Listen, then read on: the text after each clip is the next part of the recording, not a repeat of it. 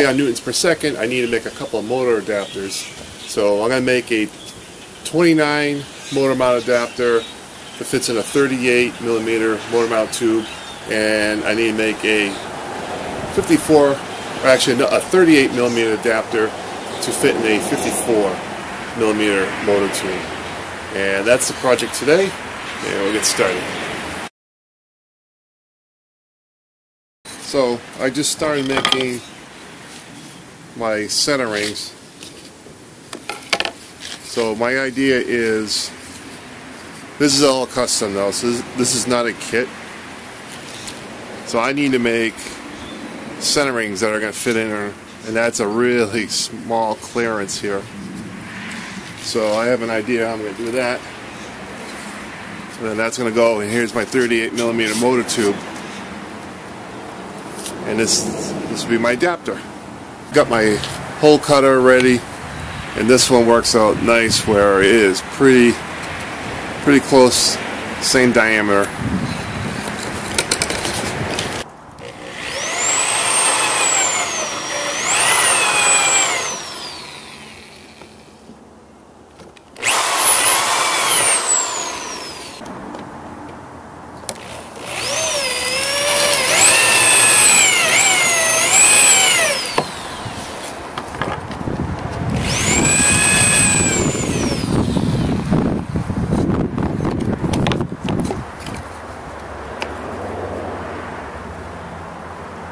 Now I'm just going to give a rough cut.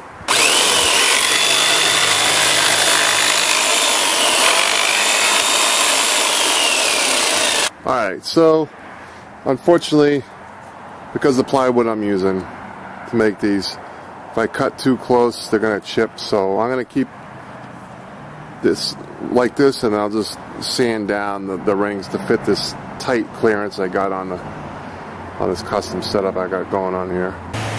Okay, so I'll be using 5 minute Gorilla Epoxy. But first, before I put the center rings on, I need to mark where I want them to go. So, probably one here and one right about here.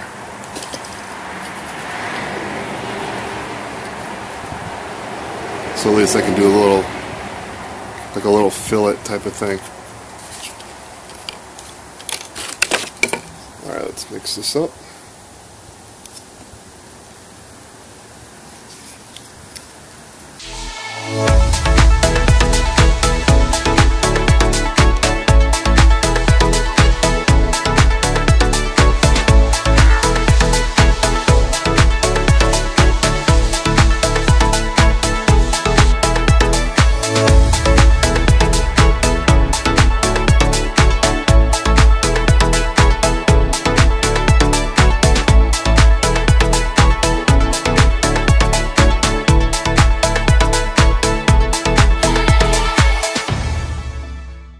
Let this set and then I'll just grind down these points here to the clearance I need to get into the coupler.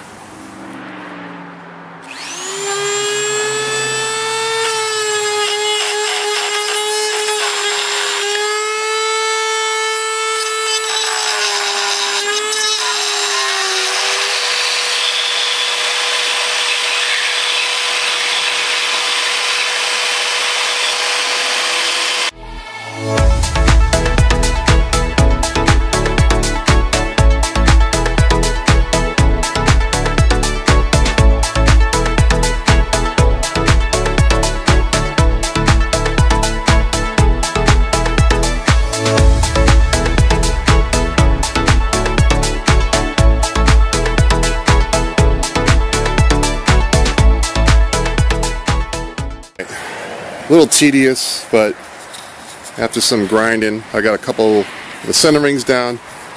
I don't have a laser cutter to make these fine center rings, so the front part I want to be able to slide in the motor tube, and that I got that.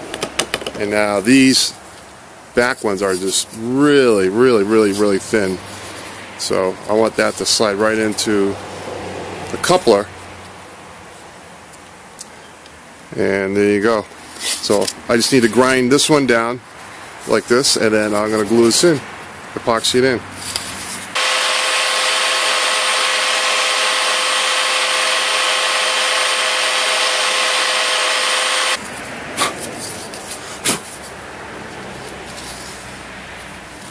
Ah, there we go.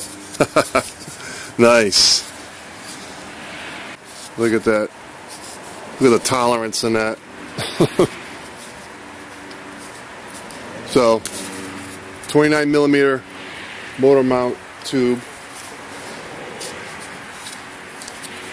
This is a 38 millimeter coupler, 38 millimeter motor motor mount tube, and that'll go in just like that. So the next thing I'm going to do is I'm going to cut a just a little piece off to make a thrust ring. And I will glue that on the edge here too. That's it. I got to glue it together and we're done. Got the chop saw out. Probably overkill for this.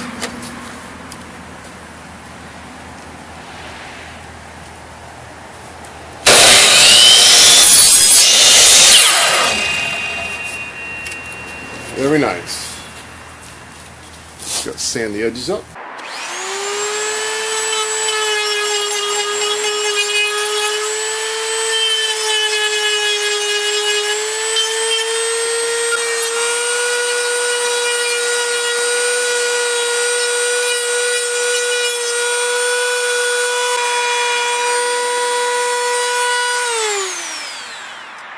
There you go. Alright, mixing up the 5 minute epoxy from Gorilla.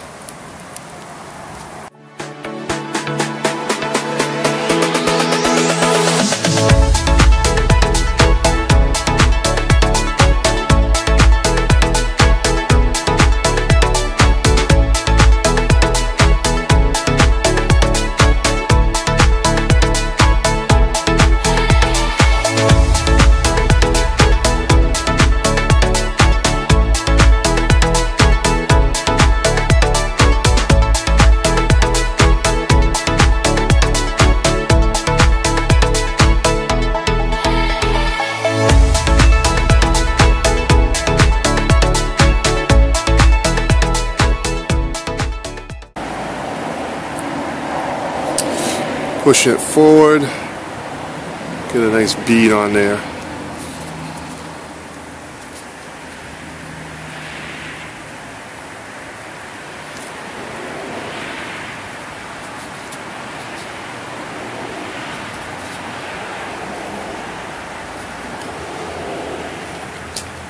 So I'm going to let this sit and then I can add some more more epoxy down there.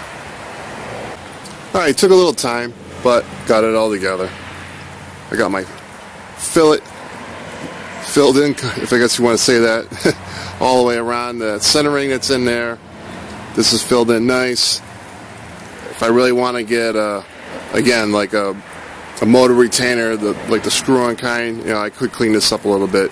But I am usually just making a plate with uh, two T-nuts and just hold the motor in anyway. So, yeah, there it is. I'm going to let it dry. And, uh, yeah, I got a little epoxy here. If it's a problem, I'll just sand it down. There's my thrust ring. And, yeah, custom made. I'm pretty happy with that. So there you go. There is a 29 millimeter ad adapter to fit in a 38 millimeter motor mount tube. Okay, so here's the next project. Is a 38 millimeter motor mount tube adapter to fit a 54 millimeter. I've had this kit for probably almost 20 years. So I'm going to put it together and uh, yeah, I got a rocket that's going to come in. I could probably use this. So I'll assemble it before it comes in.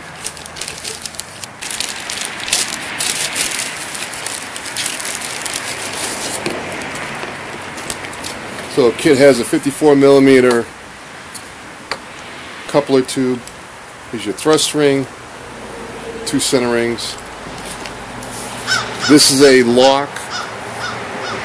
Uh, bird was flying low. This is a LOC motor mount tube. And looks like I'll just have to sand it just a little bit very carefully.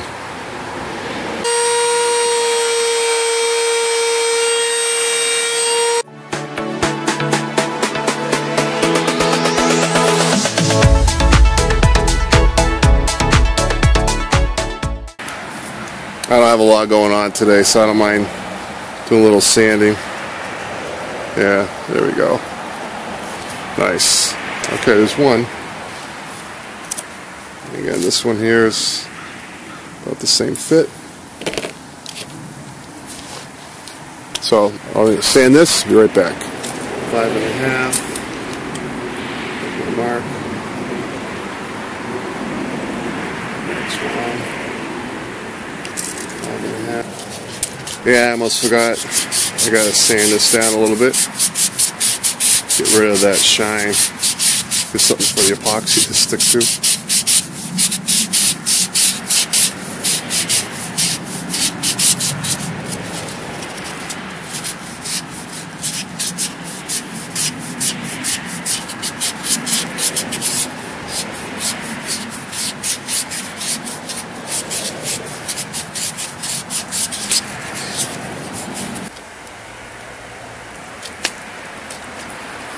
Again, mix the epoxy thoroughly.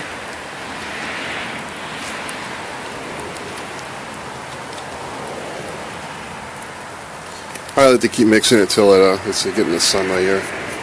Almost changes color. Starts getting a little thick. There we go. Feel pretty good about that.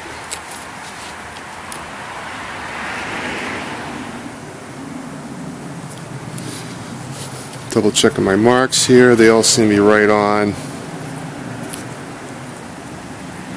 Just make sure this is fitting well. And we are looking good. Alright, so I'm to let this sit and dry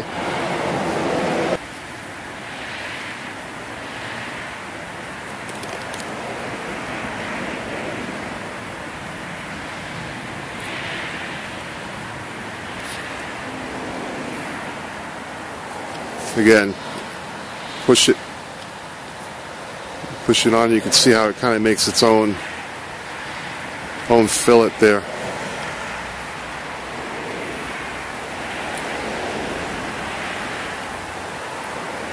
Got my bead here.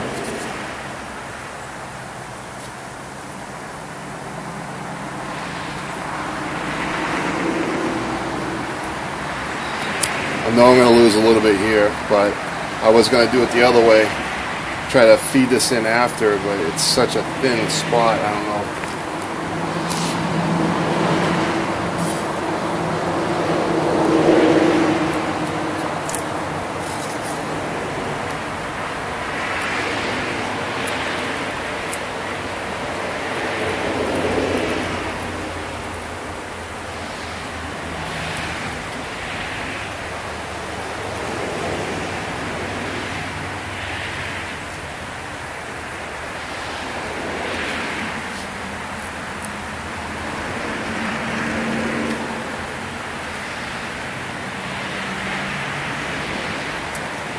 That's glue in here.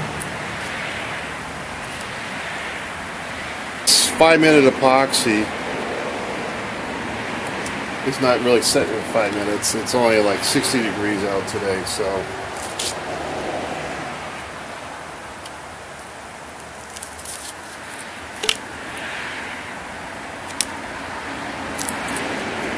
Thrust ring is tight fitting. Again, I'm pushing it up making that it's kind of making its own fillet see how it's doing that and I can stick my finger and smooth out the glue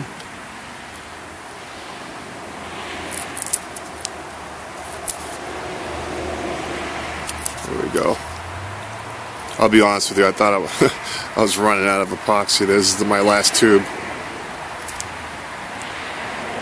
there we go Yeah, that looks nice. Looks nice. Smooth this out down here.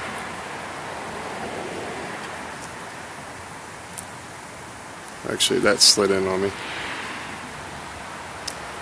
Oops. There we go.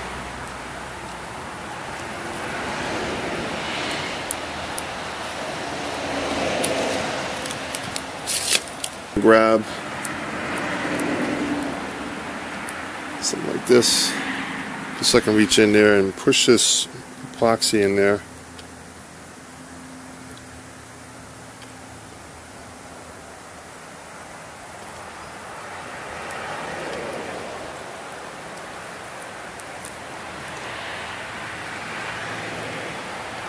Yeah, look at that. Fill that right in.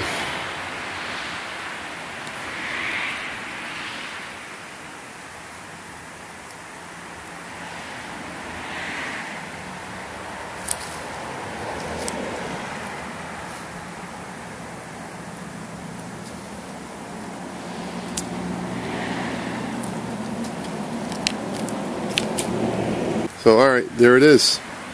54 millimeter or 38 to 54 millimeter adapter. What I may do later is put a center ring up here. I don't know if it's really going to be necessary. I think this is long enough so this end's not going to be, you know, you know, wiggling around up top. So, but I have seen adapters that they just glue a center ring up here. I'll have to see how they fit. But cool, that's it. I figured I'd shoot one more video now that these adapters are completely cured and you can handle them. I just want to sand off the little bit of epoxy that I accidentally got on there. So I'll just take some uh, some 80 grit here and I'll just just sand these down a little bit so they fit in nice. Alright, so I got some more sanding done on the 29 millimeter, 38 millimeter adapter. Uh, do another test fit. I mean, that's pretty smooth. I've got my blue lightning rocket. This is a 38 millimeter motor mount on this rocket. If I want to fly, say on like an I-205, which is a 29 millimeter, I can just put in my adapter and I am ready to go. So, yeah, works out well. I'm pretty excited.